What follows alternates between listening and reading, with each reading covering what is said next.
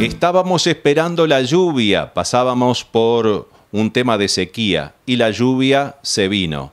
Es por eso que esta nota que queríamos hacer en exteriores la hicimos en estudios de Oeste Rural. Tenemos a continuación la palabra de Andrés Brioso y Oscar Daguero. Ellos son integrantes del grupo Un Solo Uruguay, que prepara para este 23 de enero su tercer encuentro en Santa Bernardina, departamento de Durazno. ¿Cuáles son las reivindicaciones? ¿Cómo será el acto? Todos esos detalles aquí están.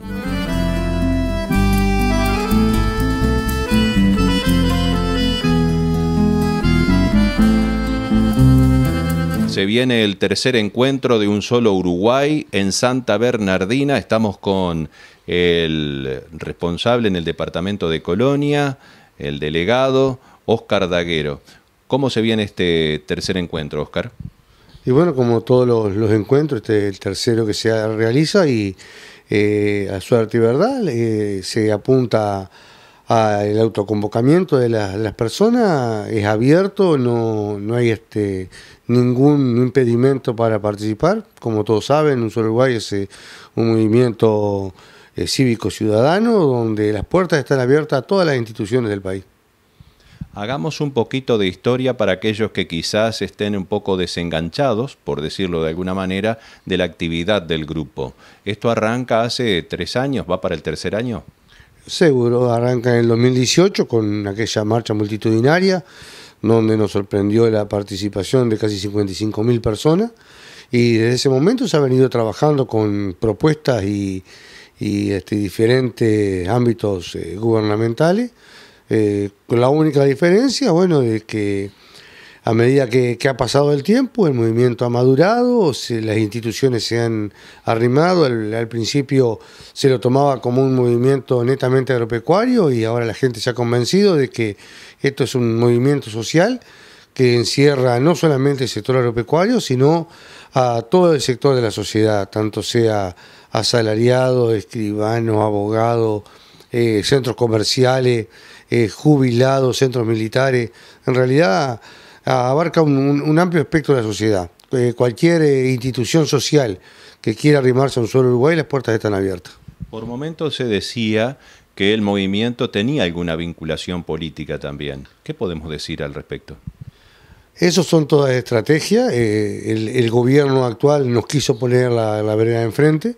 Un solo Uruguay lo único que hizo desde su fundación fue denunciar cosas que nos estaban preocupando eh, quisimos trabajar eh, con, las distintas instituciones del, gobierno actual, que nos cerró las puertas, nos ninguneó, nos puso del otro lado, nos trataron de opositores, nos trataron de desestabilizadores, y es la única esperanza que estamos teniendo ahora, si bien el 50% de los, más del 50% de los uruguayos eh, elegimos un cambio, estamos todos esperanzados en ese cambio, y lo único positivo hasta ahora es que el gobierno actual ya nos invitó a, a conversar antes de asumir, nos escuchó, eh, se llevó nuestras propuestas y un solo Uruguay lo que va a hacer es tratar de seguir trabajando junto a, quien le, toque gobernar, eh, elevando propuestas y denunciando las cosas que nos parece que, son, que no están funcionando.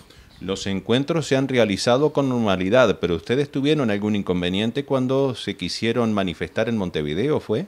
Sí, el 5 de septiembre en Montevideo se hizo un acto eh, donde se estuvo alrededor de 15 a 20 días trabajando con las autoridades, donde se había pedido los, permisos eh, correspondientes para hacer un acto y después una marcha, y nos encontramos que cuando fuimos a hacer la marcha las calles estaban cortadas y este, del Ministerio de, eh, del Interior vino la orden de que no, que la marcha no se podía hacer por esas calles, y, este, y la verdad que nos sentimos un poquitito reprimidos en ese sentido, eh, pero pasó sin ningún inconveniente grave, pues ya que quienes participamos en un solo Uruguay somos pacíficos y, somos personas tolerantes y lo único que queremos es un mejor país para los uruguayos y nada más. Los puntos que se habrán de proclamar en el día este, 23 de, de enero son aproximadamente iguales a los del primer y segundo encuentro. Yo creería que sí, digo, en realidad eh, la proclama que se va a leer este 23 de enero no la tenemos nosotros los delegados. El sábado 11 se hizo una reunión en Santa Bernardina, Santa Bernardina este, donde se elevan todas las, propuestas para la proclama. Eh, una participación muy buena, 140 personas aproximadamente, más de 60, 70 instituciones este, anotadas, que después te las voy a pasar. Y fue una, una jornada donde se discutió, se conversó y se hicieron distintos planteamientos. Pero no va a estar alejada de la primer proclama que se dio en 2018, porque creo que de todos los puntos que, que se denunciaron, eh, están vigentes todavía, algunos en la misma situación de gravedad y algunos peores, pero seguimos con los mismos problemas que este gobierno no, no, este, no acusó, no, no quiso escuchar y no nos quiso dar soluciones. Hablaba Oscar del encuentro primario que se realizó preparando este encuentro del 23 en Santa Bernardina el día 11 de enero. Allí concurrió quien es suplente de Oscar, Andrés Brioso.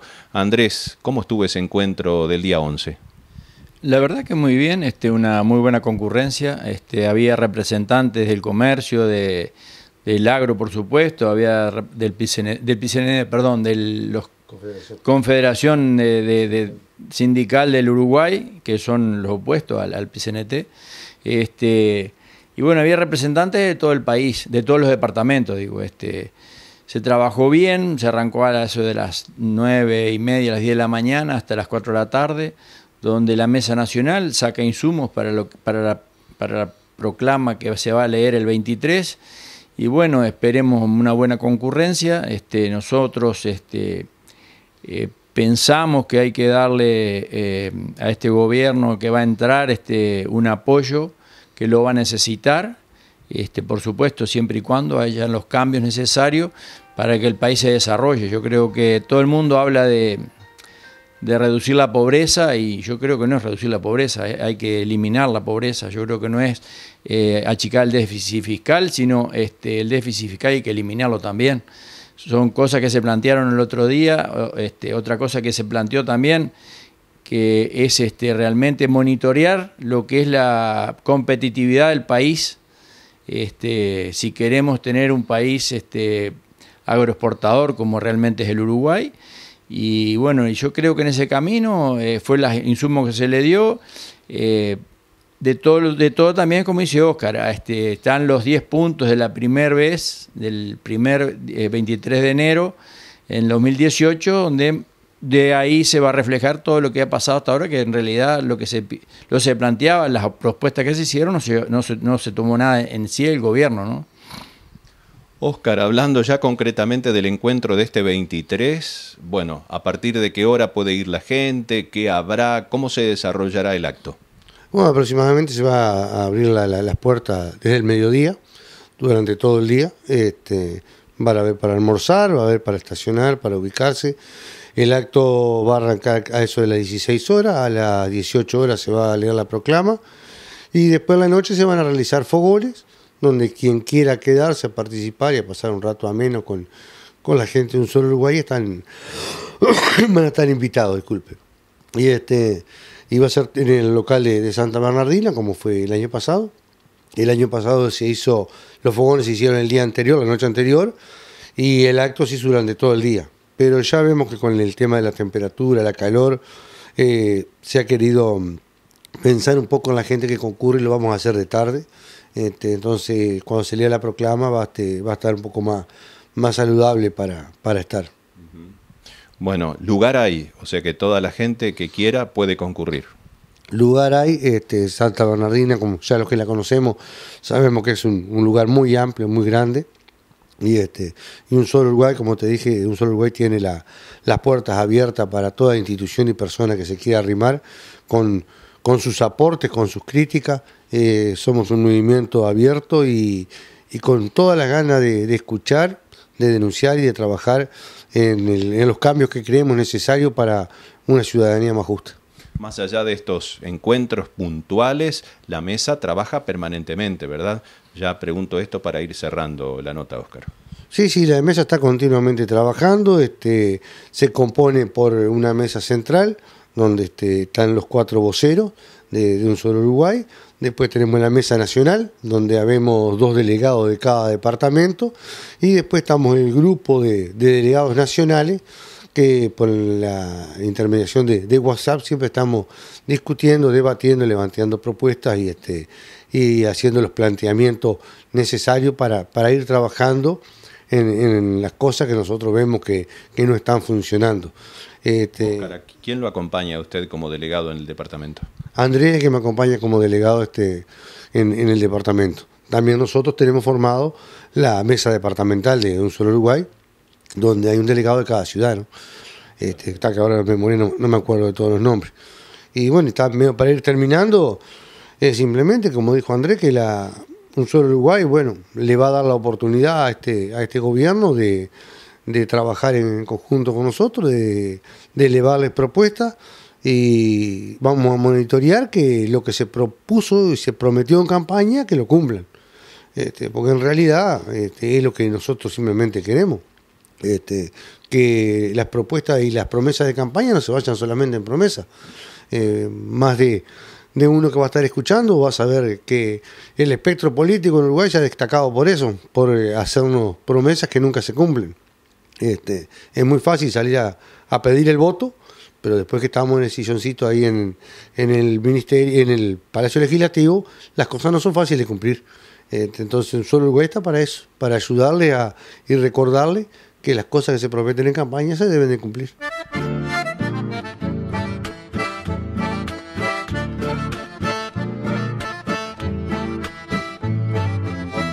preparan periodo de vacunación contra la aftosa. Del 15 de febrero al 15 de marzo se realizará el primer periodo anual de vacunación obligatoria contra fiebre aftosa de todas las categorías de bovinos que conforman el stock. Como en años anteriores, para retirar la vacuna el productor debe presentar ante el Ministerio de Ganadería la declaración jurada dedicóse al 30 de junio de 2019, la planilla de control interno de existencias al 14 de febrero de 2020 y la planilla de Contralor Sanitario que deberá estar al día. El Ministerio recomienda manejar el ganado con tranquilidad y evitar cualquier condición estresante, siendo fundamental evitar las horas de mayor calor al momento de aplicar la vacuna. La trilla en Colonia Valdense fue realizada, suspendida en su fecha original por lluvia, 15 de diciembre. El pasado sábado se realizó la segunda trilla tradicional en una tarde soleada e importante concurrencia de público. Una evaluación de la actividad la realizó para Oeste Rural el integrante de Acervo Histórico de Colonia Valdense, Jorge Rica Archetti. Fue realizada suspendida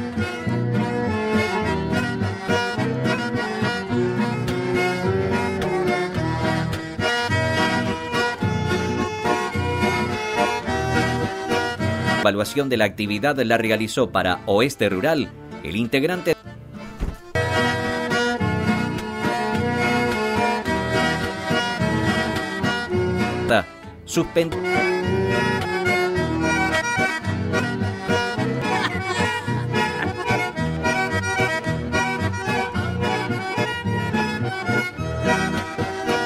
evaluación de la actividad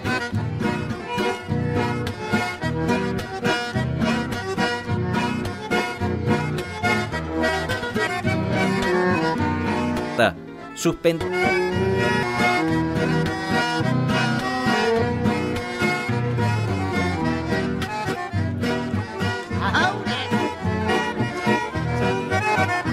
evaluación de la actividad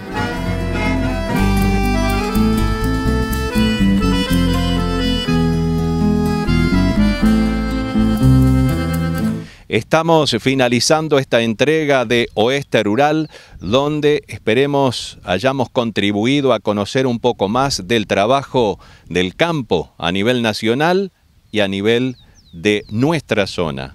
Gracias por acompañarnos y si ustedes así lo quieren, en una semana aquí en este mismo canal estaremos con ustedes en una nueva entrega de Oeste Rural. Gracias por estar con nosotros. Hasta la próxima semana. De tierra soy, de tierra vengo, y si de echar raíces, mi tierra tengo, tierra soy, de tierra vengo y si he de echar raíces, mi tierra tengo. Seré como el viñedo que crece a cielo abierto, seré como la fruta que no ves del huerto,